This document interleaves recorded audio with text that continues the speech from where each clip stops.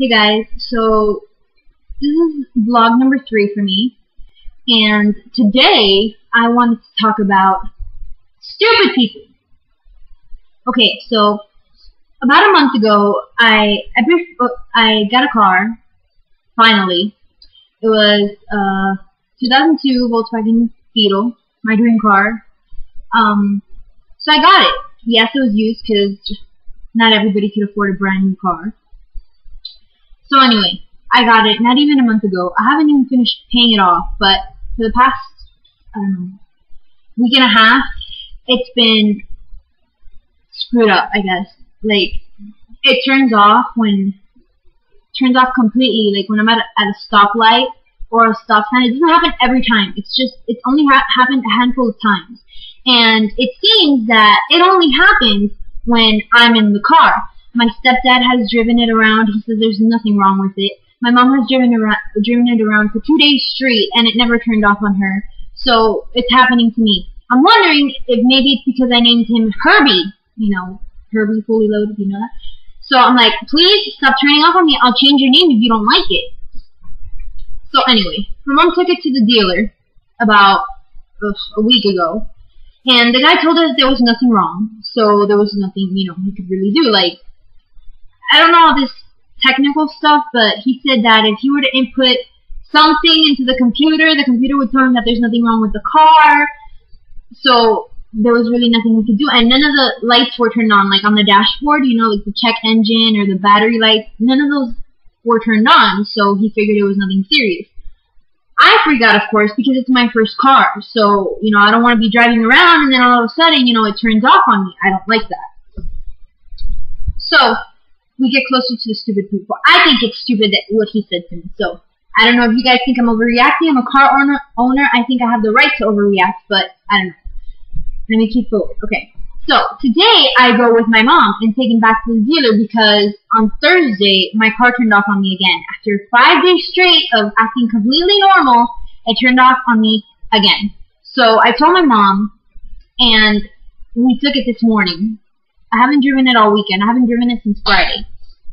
So I took it in today. We took it in today. I went with my mom. I just came back. It's three in the afternoon, and I just came back for some of the class. I've had a really stressful day. Like I went to class.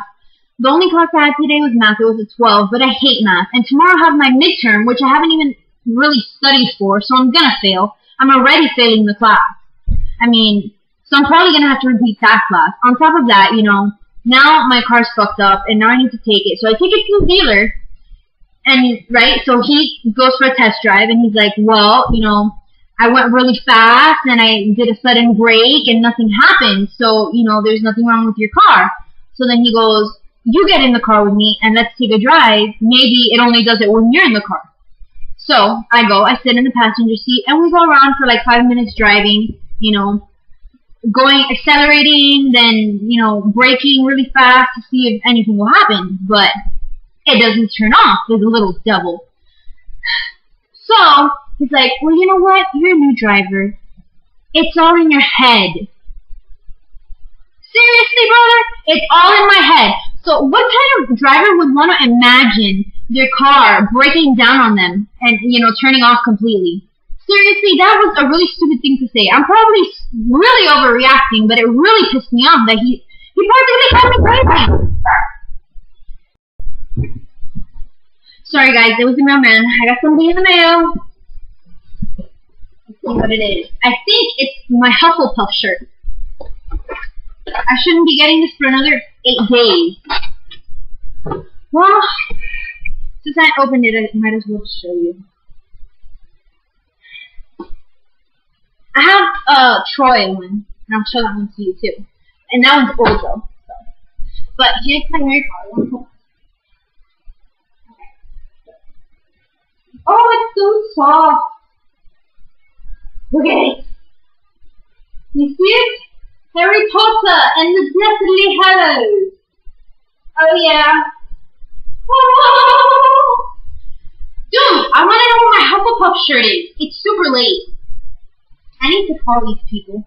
Okay, anyway, back to my story. A really depressing story. So, basically, The guy's calling me crazy. Am I wrong? I don't think I am. See, he's telling me it's all in my head that I'm imagining it, that there's absolutely nothing wrong with the car, and you know that I was just pretty much making it up. Fuck. I don't know, but that just really pissed me off. Whatever. Well, one of my mom's friends knows a mechanic, and he's gonna take care of my car because he actually cares about me and my car. Okay, so now that I've got that out of the way, um, yeah, that's pretty much all I wanted to talk about. Need to get it off my chest. Um, yeah, that's pretty much it. So, tell me, what do you guys think? Am I overreacting? If you think so, just leave a comment below and let me know. Alright, bye. I almost forgot to show you my Troy little cover thing. This one's super old. I got it like three years ago.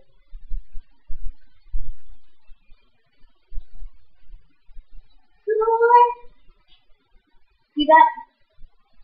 I got it when High School Musical 2 came out. This pillow, I got it when the first High School Musical came out. It says, I love, I love Troy. It's not broken because my dog chewed it up while it was on my bed. So, yeah. Alright, well, see you guys in the next vlog. Bye-bye. Have a nice day. Don't let any car dealers ruin your day.